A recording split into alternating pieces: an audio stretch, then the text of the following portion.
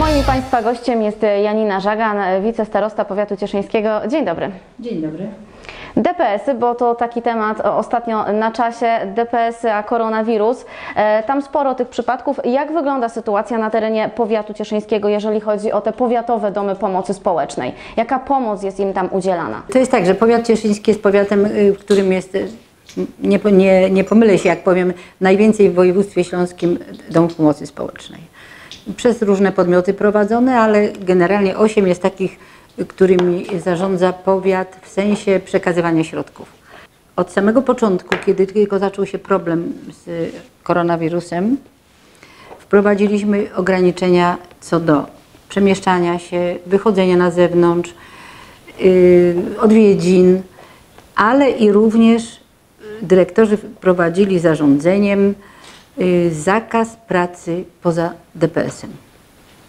Także ten problem, który wystąpił w wielu placówkach, że pielęgniarki ze szpitala, pracujące w szpitalu, zachorowały i przeniosły y, tą chorobę do domu pomocy, w naszym powiecie, w naszych domach nie wystąpił. Y, Ponadto podjęliśmy y, środki ostrożności, wprowadziliśmy pewne zasady jeszcze wcześniej niż zostały one wprowadzone rozporządzeniem ministra, przekazane przez wojewodę. Y, Dyrektorzy bardzo poważnie podeszli do problemu. Y, Na swoich, w swoich placówkach, u siebie, każdy y, w zasadzie dostosowując się do własnych warunków, wprowadził takie obostrzenia dotyczące tak zachowania się personelu, zachowania się mieszkańców. No dało to niesamowicie pozytywne efekty, bo do tej pory żaden z naszych domów nie miał problemów. W ani jednym przypadku nie wystąpiło nawet zagrożenie. W tej chwili w naszych ym, domach przebywa 721 mieszkańców. To jest ogromna rzesza ludzi zgromadzonych w, jednych, w jednym, no nie oczywiście w jednym miejscu, ale y, w jednych miejscach, w tych ośmiu miejscach. To jest ponad 500 osób personelu. I naprawdę, y, gdyby się udało przejść y, suchą nogą przez ten ogromny, o- ogromną powódź, ten zalew y, koronawirusa, to byłby chyba cud, ale taką mamy nadzieję. Y, Na samym początku y, tak starosta podjął decyzję, jak i dyrektorzy domów, sami jeszcze przed otrzymaniem pomocy z zewnątrz y, zakupiliśmy y, środki ochrony osobistej. Tak, płyny dezynfekujące, maseczki, rękawiczki. No, na ile było stać dyrektorów, na tyle tych zakupów dokonali. Y, Starosta też podjął decyzję o zakupie 4500 maseczek i prawie że y, natychmiast, bo już od 14 marca pozyskujemy tak maseczki, jak i fartuchy ochronne od takiej grupy, która działa w Skoczowie. To są kobiety, które się skrzyknęły i zaczęły pracować na rzecz tak szpitali, jak i domów pomocy społecznej.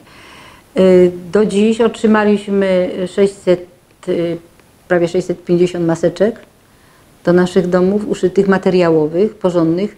I właśnie takie są potrzebne, bo je można wyprać, wyprasować. A i te panie uszyły y, do naszych domów y, 139 fartuchów ochronnych. To wszystko y, mieliśmy w, sy- w sytuacji, kiedy wojewoda przyznał pomoc. I ta pomoc też jest w tej chwili duża już. Tak na początku to wyglądało nieciekawie, bo y, te pierwsze pomocowe, że tak powiem, y, zrywy to dotyczyły 10 maseczek na cały dom, więc to było wręcz śmieszne. No ale teraz już jest dobrze, y, to już wchodzi w, w tysiące y, i, i litry płynu, i maseczki, i rękawice. Także y, nasze domy są zabezpieczone. Y, Co nie znaczy, że no nie, nie, nie poszukujemy jeszcze dalszych sposobów zabezpieczania się. Tutaj mówimy cały czas o tych powiatowych domach pomocy społecznej, a co z tymi prywatnymi? Tutaj Tego nie wiemy. nie wiecie co. My nawet nie wiemy, y, ile jest tych domów i jakie one są, bo one się nie rejestrują u nas.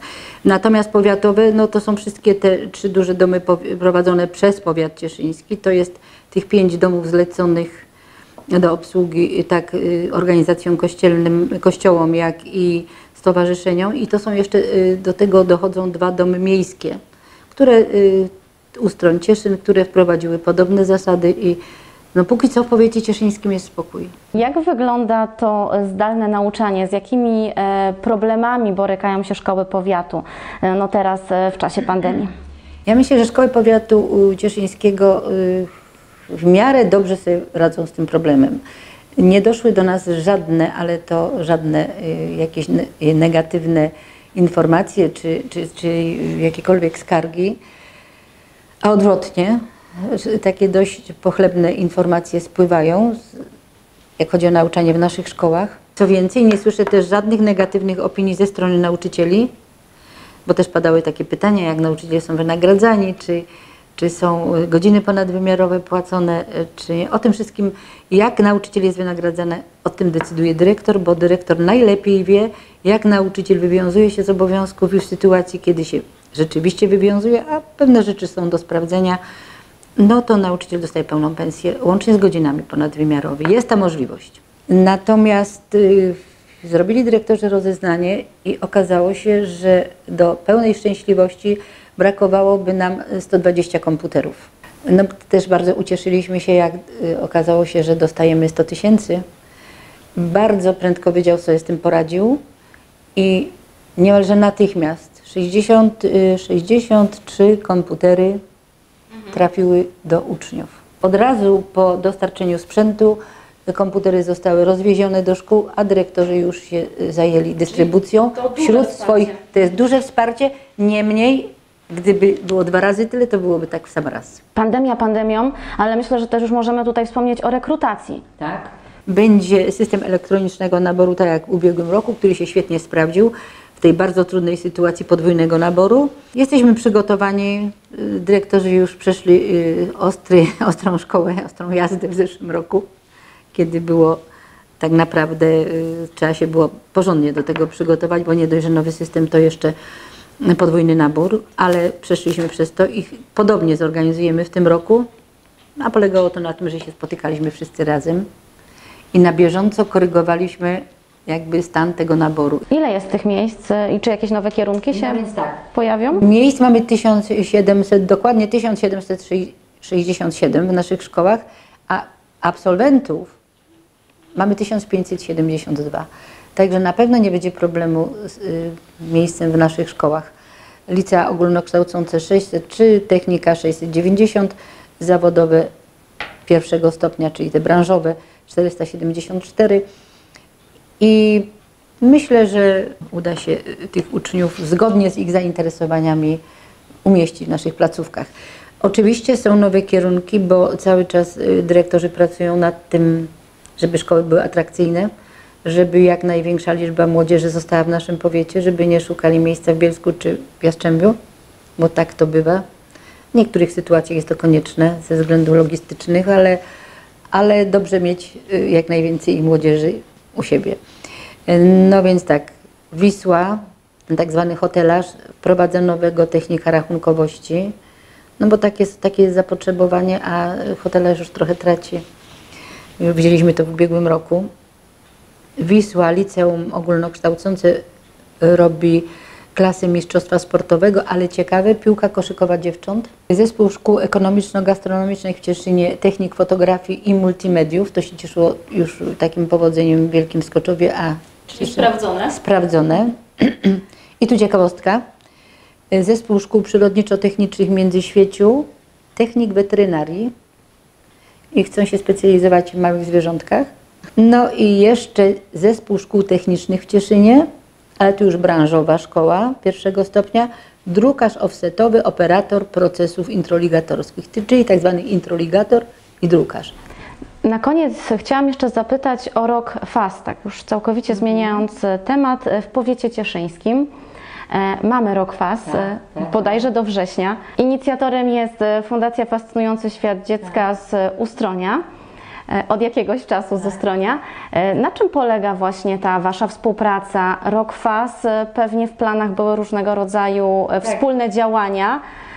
Myślę, że pandemia troszeczkę je pokrzyżowała. Był dość ambitny program, rzeczywiście, program kierowany głównie na uczniów naszych szkół. Bo chodzi o profilaktykę, że profilaktyka objęła człowieka w jak najwcześniej. Żeby y, dziewczyny wiedziały, że przed wypiciem alkoholu przed muszą być pewne, że, że nie są w ciąży, bo to, bo to rzutuje potem na przyszłość i, i, i kobiety, i, i dziecka.